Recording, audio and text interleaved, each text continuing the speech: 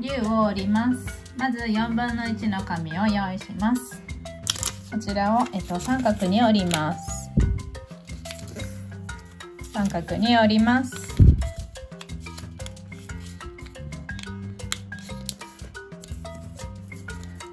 こちらを2枚合わせて少し斜めに折ります。開きます。折り目で内側に折ります。折り目で折ります。こちらで1つ目のパーツの完成です。こちらと同じものを全部で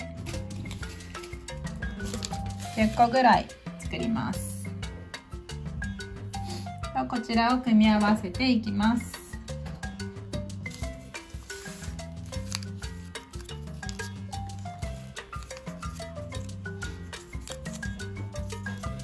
まず、うん、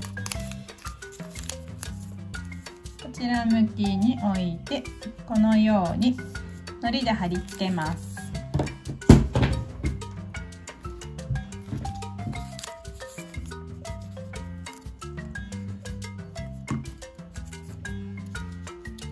挟み込むように貼り付けます。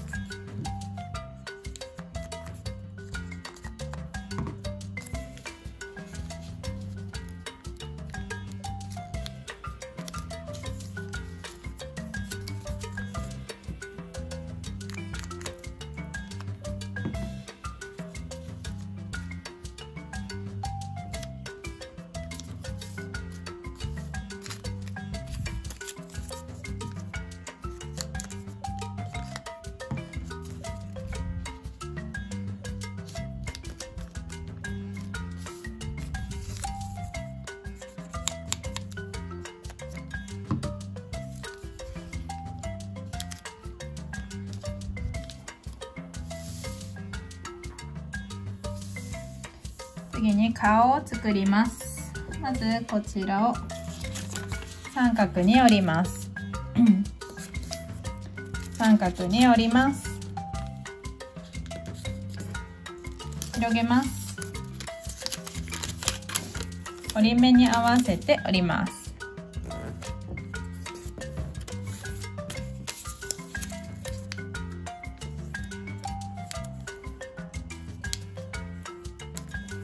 反対側も折ります。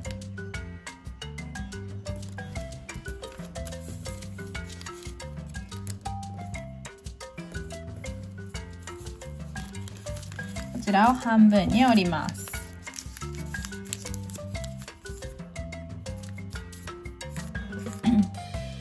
こちらを中割り折りをします。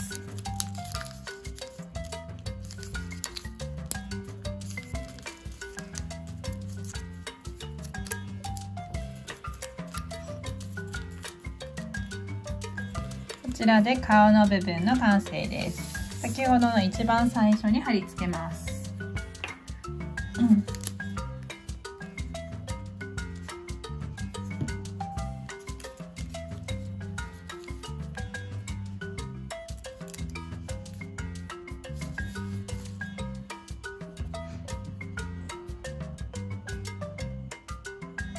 こちらで完成です。